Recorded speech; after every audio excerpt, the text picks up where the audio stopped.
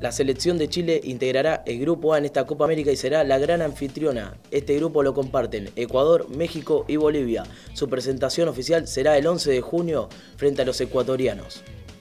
El técnico de Chile es Jorge Sampaoli, uno de los entrenadores argentinos que estarán dirigiendo en el certamen. Sampaoli está a la cabeza de dicho conjunto desde finales de 2012 y buscará lograr su primer título como técnico de un país. El gran debut de La Roja será el 11 de junio cuando abra el certamen enfrentando a Ecuador por la primera fecha del Grupo A en Santiago de Chile, en el Estadio Nacional.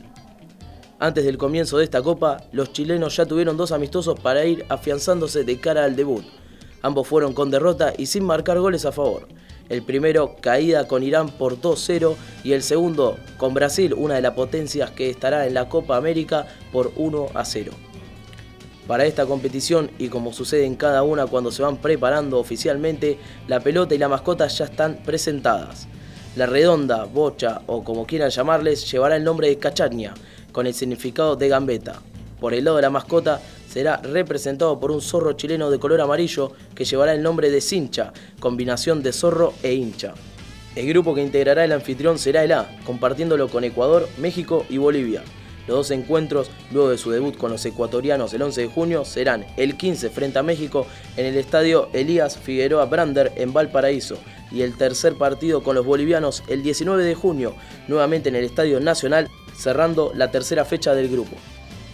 Entre sus jugadores más destacados para disputar el certamen se encuentran el arquero del Barcelona, Claudio Bravo, los mediocampistas, Gary Medel del Inter de Milán y Arturo Vidal de la Juventus de Italia. Por el lado de los delanteros se destaca Alexis Sánchez, jugador del Arsenal inglés. Por otro lado, Eduardo Vargas, otra de las figuras de este plantel, sufrió una lesión en el ligamento colateral de la rodilla izquierda el pasado fin de semana jugando para el Queen's Park Rangers, la cual lo tendrá fuera entre 12 y 14 semanas. Se estima que pueda volver a hacer fútbol el 8 de junio, tres días antes del comienzo de la competición. Cabe aclarar que Chile todavía no logró levantar la Copa América y buscará alzarla en su propio país por primera vez en su historia.